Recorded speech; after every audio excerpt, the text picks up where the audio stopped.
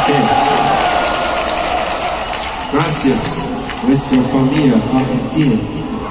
Gracias. Pero, pero pienso que hay un nuevo...